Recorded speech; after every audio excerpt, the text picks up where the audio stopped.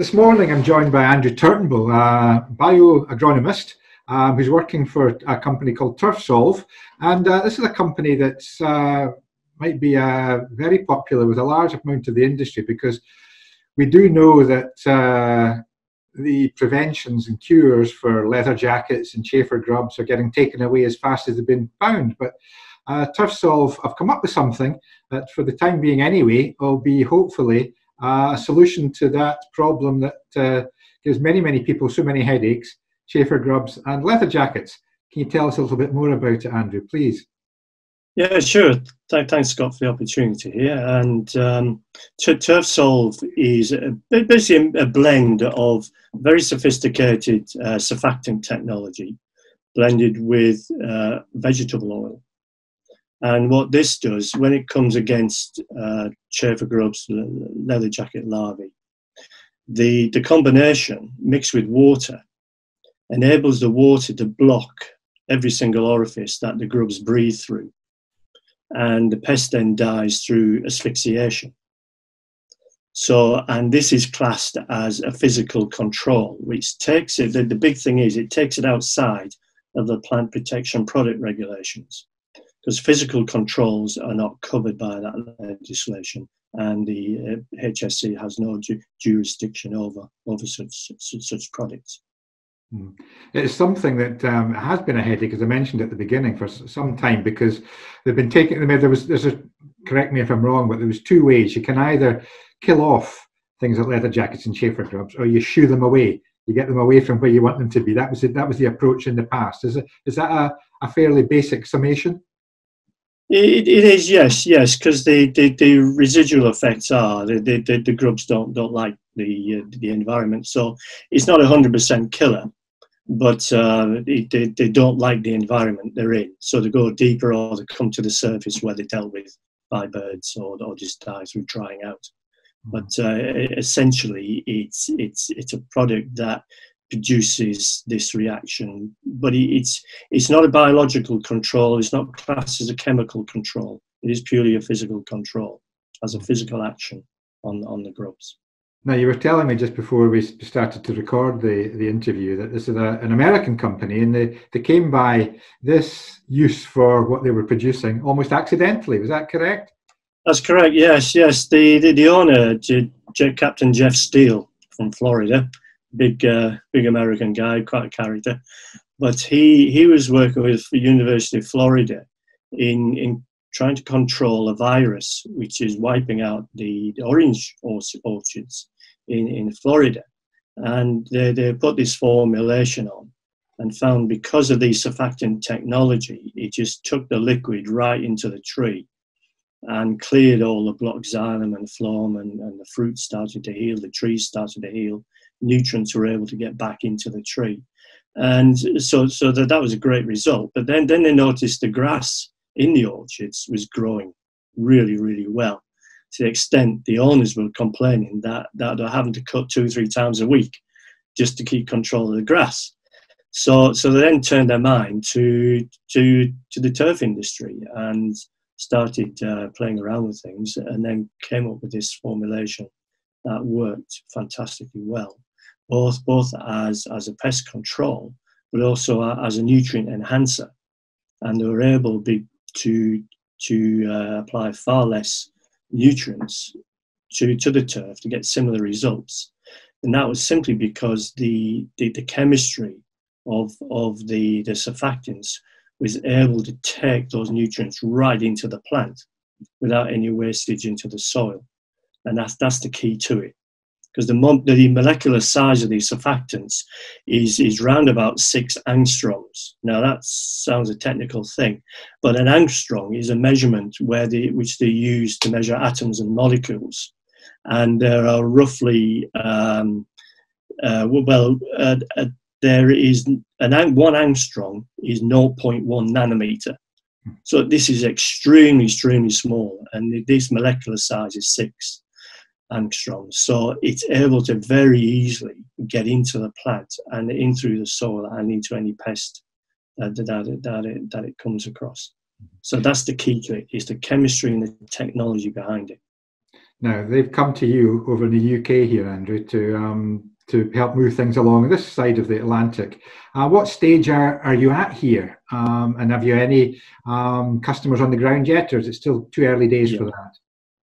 Well, we, have appointed two distributors. The first one is First Call Corporation, owned by Helen Ware, and they they were supplying uh, a, a, limited number of customers earlier this year, just as a test, see how it works. We've had a really good response from that.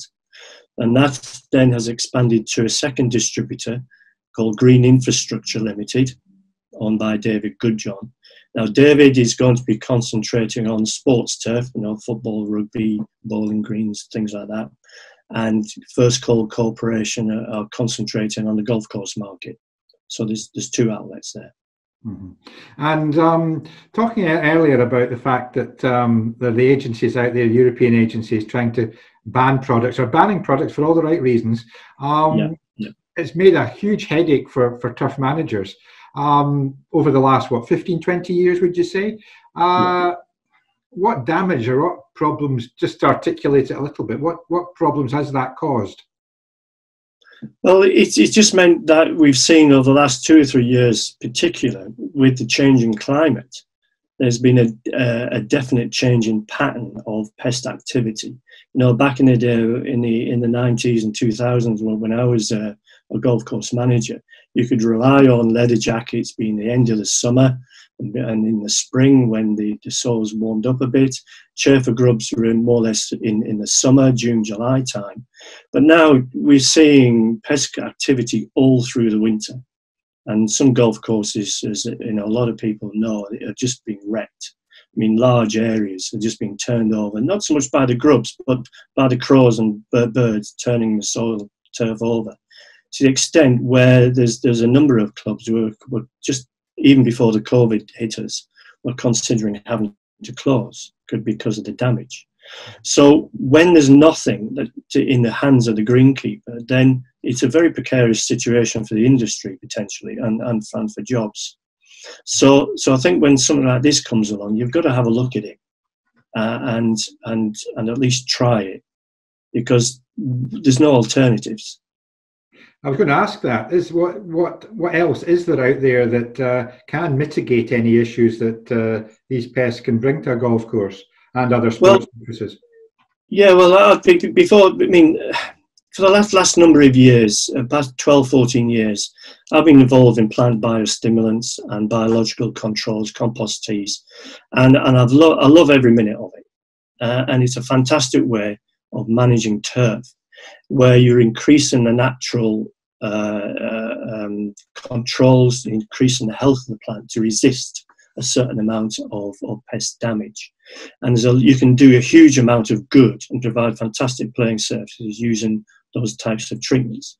But when it comes to this level, I, I said, I mean, I have a phrase, uh, a mantra that says, you know what, sometimes you just need to kill something. You need to get control. Otherwise, you just, once you've lost control, it's very difficult to get it back. You know, sometimes when it comes to disease management, sometimes times of the year when the environmental conditions are such that disease just comes down and it just wipes out the whole country you know, suddenly instead of little patches and little pockets of the country, suddenly everybody's got fusarium or everybody's got this. And in those circumstances, those who are using things like biostimulants and compost teas, they see a, a very quicker recovery afterwards. But it doesn't stop it. They'll, they'll probably have a slower ingress of the disease. But even in those situations, they'll still get it. And like I said, sometimes you just need to get control, and by you can only do that just by killing something. And this is the type of thing. This is the project that suddenly I switched on. Look, this is it. This is what what what can help us do. You know, just help turf managers get get control back. I wouldn't want to say up again. It was up to the court of pesticide rights. yeah.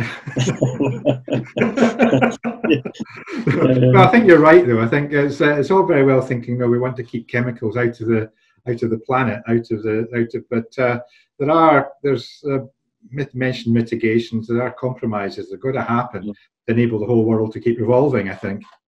Yeah, yeah, yeah, and you I'm going to say it is a difficult one because because you, you you want to do the right thing. Most golf course managers and, and grounds they, they want to do the right thing, and they want to look after the, their environment and the piece of land that, that, that, they're responsible for. But they also have jobs as businesses involved that have some serious investment, which has to be protected. And when when the tools of the job are being taken away all the time, then it's very difficult to keep motivated sometimes. Mm-hmm. So so hopefully something you know with, with the TurfSolv, then this is an answer. It's not total answer, mm-hmm. but it is a, a really good answer for, for this problem. Yeah. Well, good luck. I mean, I'm well aware of the damage that can be caused by these little blighters, and uh, anything that can help aid the work of turf managers in all sports throughout not just the UK but further beyond as well is to be welcome. So good luck with everything, Andrew, and uh, thanks very much for giving me a little bit of your time this morning to explain um, TurfSolv. Thank you. It's been a big pleasure. Thank you. Thank you.